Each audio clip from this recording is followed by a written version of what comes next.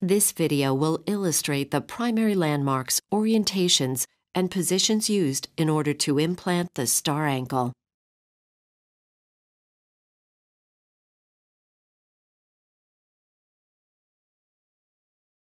The first principal landmark identifies the proper orientation of the implant in the transverse plane. The T alignment guide can be lined up with an osteotome placed in the medial gutter. This is important in order to protect the malleoli from inadvertently being compromised later in the technique.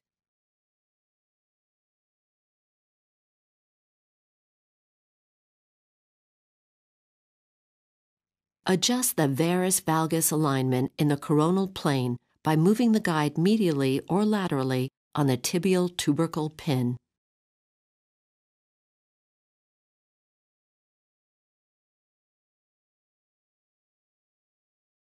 With fluoroscopy oriented directly down the barrel of the angel wing, showing the angel wing as thin line with pegs, line up the tip of the angel wing peg to be at the most superior portion of the tibial plafond.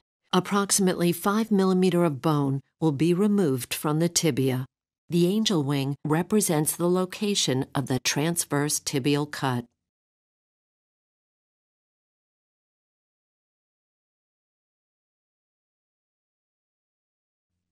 Make medial and lateral adjustments with the gear key to minimize the risk of notching the medial and lateral malleoli during tibial resection.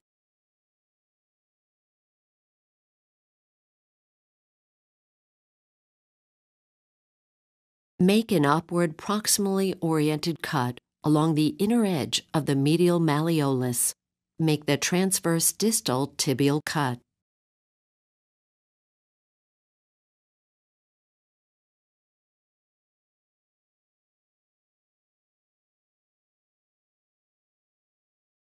Approximately 4 millimeters of bone will be removed from the talar dome. The foot should be 88 to 90 degrees perpendicular to the long axis of the tibia. Excessive dorsiflexion will shift the talar component anteriorly, while excessive plantar flexion will shift it posteriorly. Proper orientation protects the talar neck from inadvertent weakening from the later talar chamfer cut. The talus must be touching the paddle face to ensure adequate resection. Make the transverse talar cut. Insert the 12 mm end of the joint space evaluator between the cut surfaces of the tibia and talus. 12 mm of space is required for positioning of the tibial and talar components with a 6 mm bearing.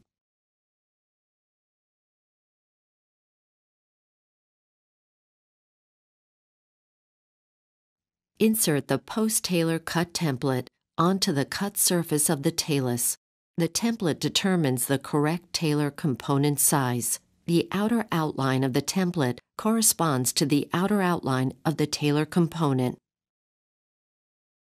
Once the appropriate talar template is determined, attach the drill guide onto the template. The post of the drill guide should be centered over the lateral process. This positions the implant at the center of rotation of the ankle.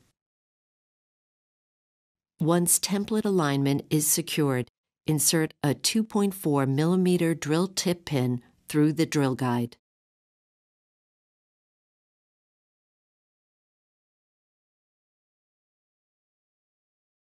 With the talar anterior-posterior cut guide attached to the datum, prepare the anterior surface of the talus through the distal and proximal slots of the talar cut guide with a pecking and sweeping motion. With an oscillating saw, make the posterior talar cut through the posterior guide of the talar cutting guide.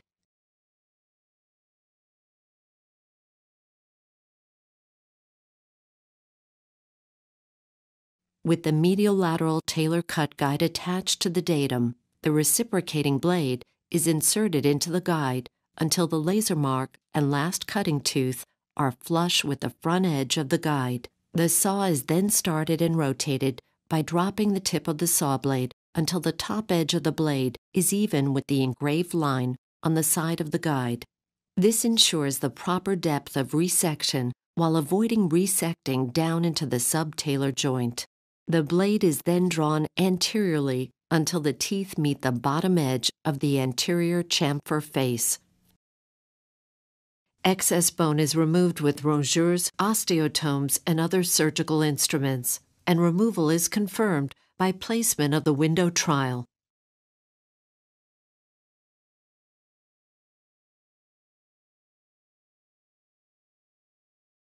Insert the straight keel mill into the center slot of the talar window trial and drill an anterior hole, a posterior hole, and center hole. Connect the holes by sweeping the drill in the slot. The STAR ankle, a mobile ankle designed to improve your patient's mobility.